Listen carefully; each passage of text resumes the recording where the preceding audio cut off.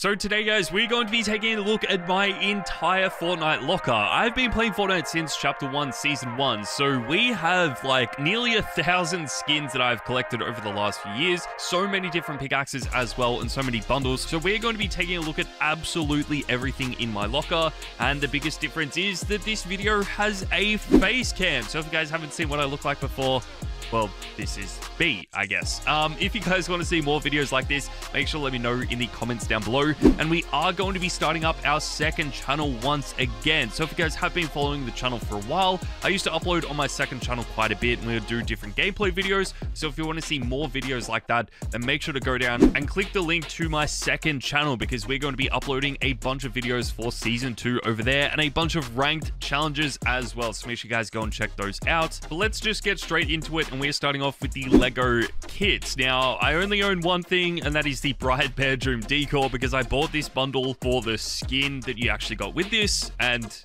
yeah, that's the only Lego kit that I own. If you guys do want to see me play Lego Fortnite, then make sure to let me know because we can definitely do that. But as we move into the jam tracks, because I make a lot of videos and have to use gameplay in my videos, I don't really buy a lot of these because they are copyrighted. So we just don't really own that many jam tracks. Plus, it is kind of weird to spend V-Bucks on things that I'm not really going to use. So that's why I just haven't really bought them. The cars, though, are a little bit different. We did buy the Lamborghini because it's a Lamborghini. Who doesn't like them? We also have the Scorpion and the Cyclone, which I think were the default cars. Um, we don't really have any of these decals. We only bought the wheels, the Santa Fe wheels, because I think they do look quite cool. The trails we haven't really bought either, and we don't own any boosts apart from the default one, but this will probably change over the next few weeks. The instruments are the same. I haven't really played the music game mode of this, which is like Guitar Hero or Band Hero. I haven't played this at all, so if you guys want to see me play that, then make sure to let me know. But we just have the default guitars that you get in bundles, the battle passes, and a few other bundles from the item shop. So there really aren't too many in here. The guitars do look kind of cool though. The drums are really clean. Uh, we don't really have any microphones either. The guitars are kind of cool and that's it so yeah we're getting through all the uh, items that we don't really use that often banners we just have all the standard banners that you get in battle passes and bundles i don't think there's any rare ones in here from like chapter 1 season 1 but uh, yeah i haven't changed these around pretty much since i started playing so that's why there's all these notifications of new ones that I have. Um, lobby music, I don't really check out, but loading screens we can definitely take a look at. There are so many in here. I sort of just get all the ones that you get in the Battle Pass like everyone else. I have favorited a few that I have sort of on rotation um, but I haven't really looked at too many of these for a really long time. So if you guys do want to look through and see if there are any rare ones in here, then maybe it is worth going through and just slowing down the video, taking a look at which ones I do actually have. But as you guys can see, the ones that I use most often are probably just the ones that I have favorited. And uh, yeah, I think those are the ones that look the coolest. I probably should go through and find some of the better design ones because I haven't looked through these for a very, very long time. As you guys can see from all the notifications, uh, we probably should just go through and look at all of them. The Marvel ones are really clean. I do think they look quite cool. And uh, yeah, the DC ones as well. You can see I favorited a few because they look quite cool. But uh, that's all my loading screens. We then move on to a little bit of a more exciting one. And these are the wraps. We'll go to the assault rifle just because I think it's a better model to use than the boat. Um, but yeah, all the favorited ones, again, are the ones that I do use quite often. I feel like we'll just hover over a few that I have used quite a bit. Um, I really like the Legend. I feel like the more simplistic ones are definitely becoming more popular in Fortnite today. When they first got added, a lot of people using the more highly animated or just the bright colored wraps that we did see. Like the Sonic Glow was actually really popular.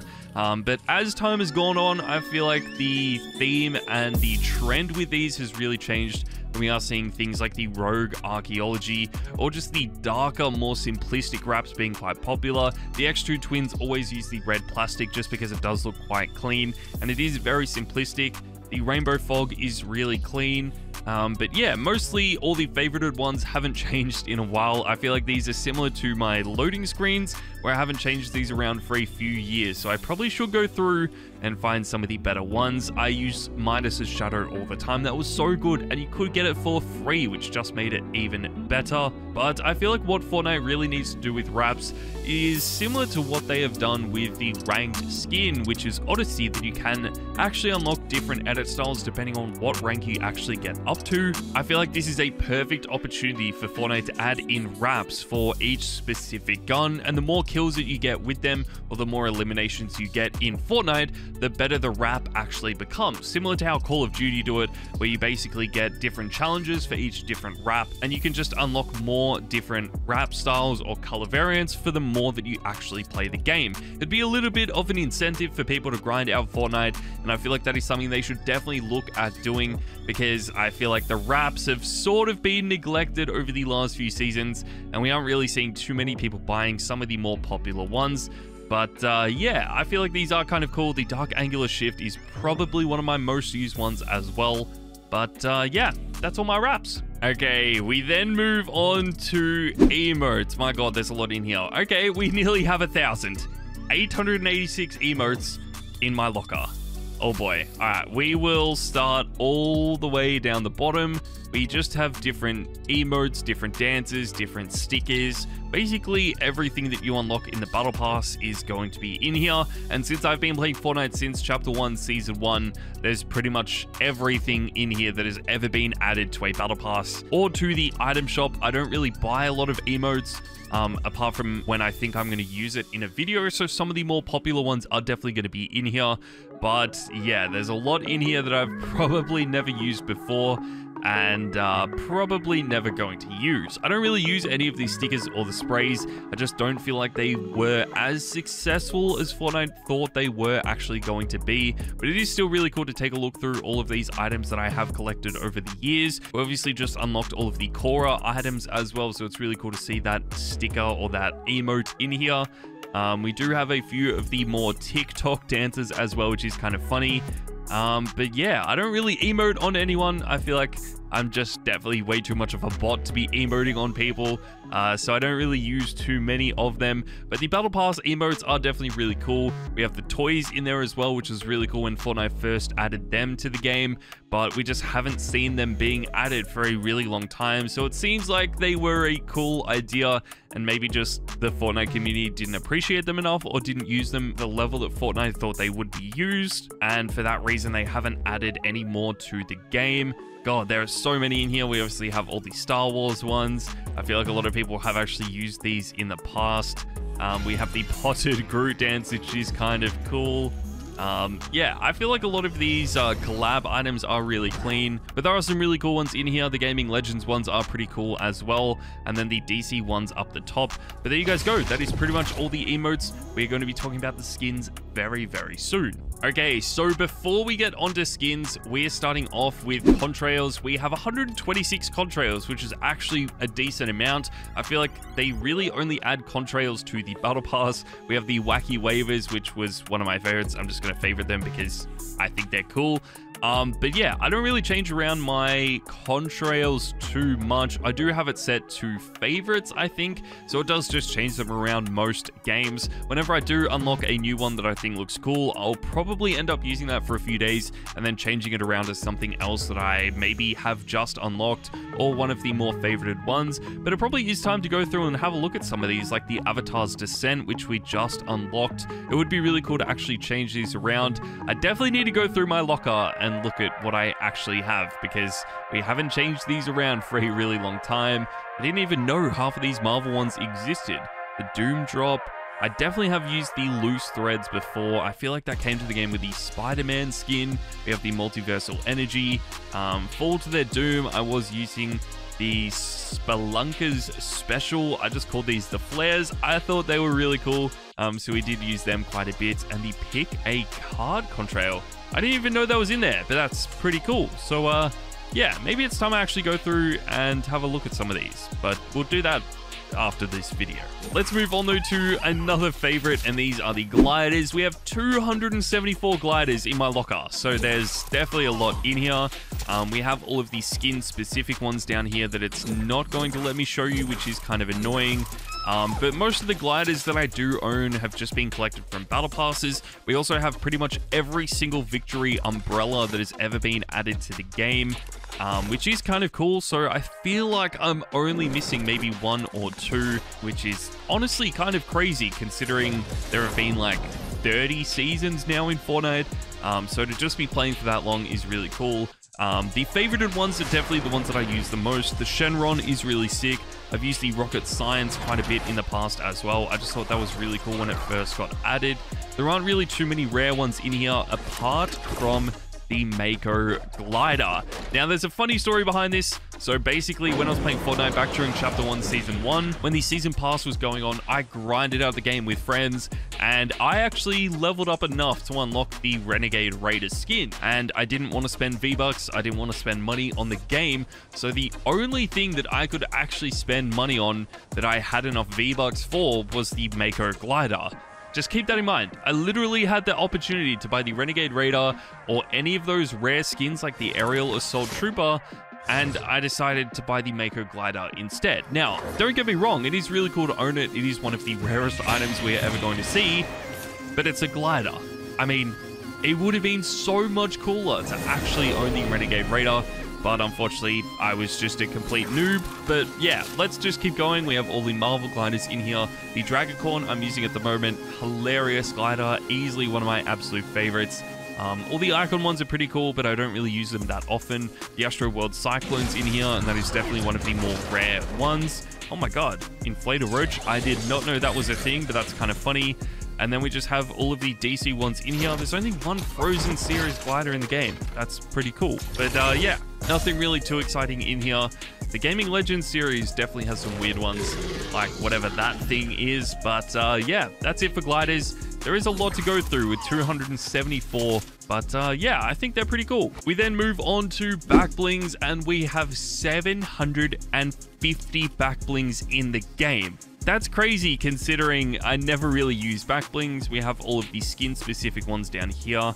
We have Zuko's Scabbard, which I just unlocked the WWE Championship belt, though I have been using quite a bit. That is pretty much a constant theme with all of these items. Just the favorited ones that you guys are seeing on screen are the ones that I do use if I am actually going to be using a back bling.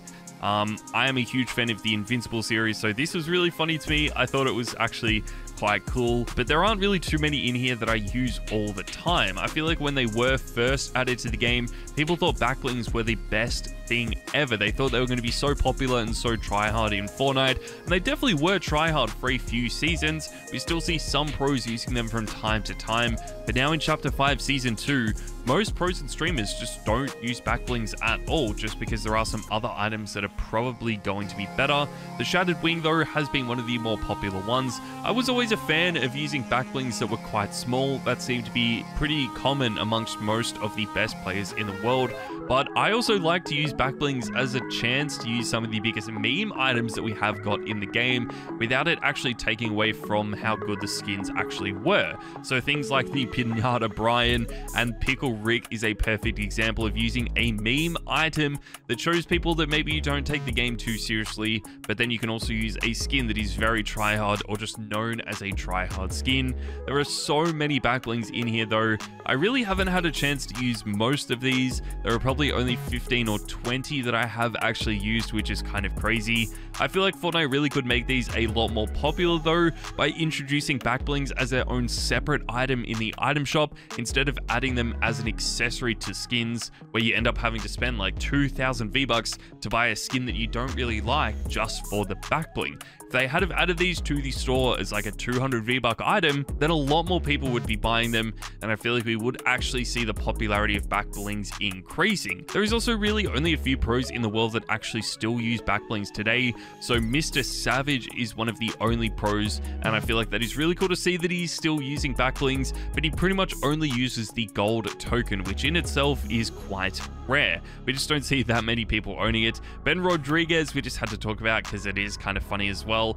But yeah, there's a lot in here that I don't really see. I feel like if pros and streamers did start using backblings again, then uh, we would see more people using them. The Star Wars ones are kind of cool. I feel like the Jedi Order, for example, would look really cool with a superhero skin, but we then move into Marvel, and they are a lot more bigger and bulkier than some of the other ones. What the hell is this?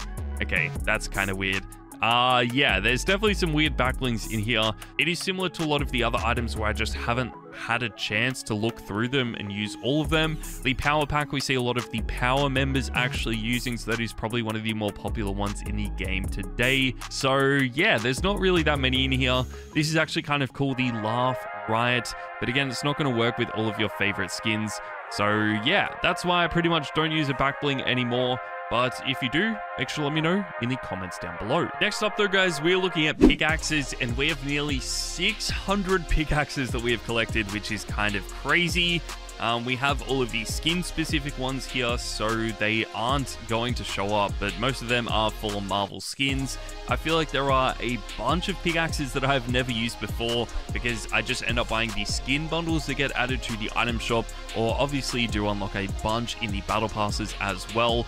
But as we've already mentioned, a lot of my favorite ones are going to be favorited, and those are probably the ones that I use more often than any other pickaxe in my locker. I do sort of prefer the more simplistic ones in the game as well. Obviously, there are some really amazing, bright, and colorful ones, and some of the more detailed ones do look really clean, but I just feel like for right now, the more simplistic ones are probably my go-to ones. The Scully Scepter is a perfect example of this. I've just seen so many people using this in the past that I've ended up using it as well just because it fits in with so many different skins. I do kind of like the Renegade Roller though, it is a little bit different to what we have seen and the cool part about this is that it actually has the crowbar on the side of the pickaxe as well, which not too many people actually know about. I feel like that is a really cool touch. We have the Red Hot Revenge. I just bought this because I missed out on the Raiders Revenge.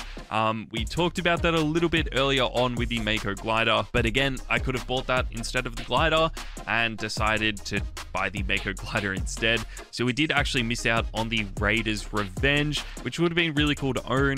We have Michonne's katana. I mean, there are so many katanas now in the game, but I feel like Michonne's katana is definitely one of the best. The Kamisena staff I am a big fan of. I just really like the way it looks. We just got the Immortal War Doru with the April Fortnite crew bundle, which was really clean. The Icebreaker we just have to own. I mean, it's one of the best pickaxes of all time.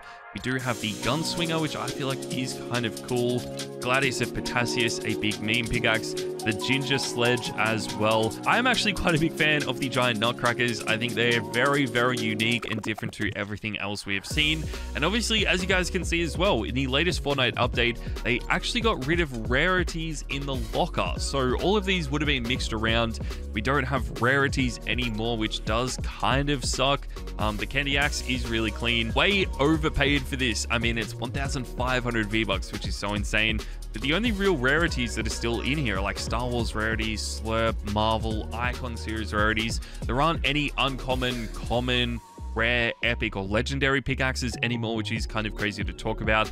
I feel like the Star Wars series that we have to mention on its own because they should have added lightsaber pickaxes to the game. That would have changed it completely, and I feel like they would be some of the more popular items. The Marvel pickaxes are really well done. There are some amazing icon ones as well, and I feel like the only one we're missing is the Diamond Jack. But my favorite series would have to be the Gaming Legend series. We obviously have the Leviathan Axe, which is so rare in Fortnite today. I really am a fan of the Witch's Steel Sword, Yennefer's Megascope, the Stun Rod. We have the Hot Dogger as well, which is really clean. We also have the Ebonheart Battle Axe, which I am a big fan of. The Dark Place Lamp is really, really clean. And uh, the DC series is also really good. So we have the Harley Hitter, one of my personal favorites, Hawkman's Mace, which is really underrated. We have the Joker's Revenge, Catwoman's Grappling Claw, which I love, and of course the Bad Joke. But yeah, that's pretty much all my pickaxes. There is a lot in here. 750 is a crazy amount. So uh, make sure to let me know which one is your favorite in the comments down below. But finally, guys, we are moving on to the skins, and we have 838 skins.